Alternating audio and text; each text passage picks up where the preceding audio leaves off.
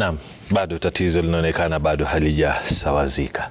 Kwingineko ni kwamba waziri mkuu wa Haiti Ariel Henry amejiuzulu kutokana na utovu wa usalama unaoendelea nchini humo. Muungano wa mataifa ya Karibiani unaoongozwa na rais wa Guyana Irfan Ali umethibitisha kujiuzulu kwa waziri mkuu huyo.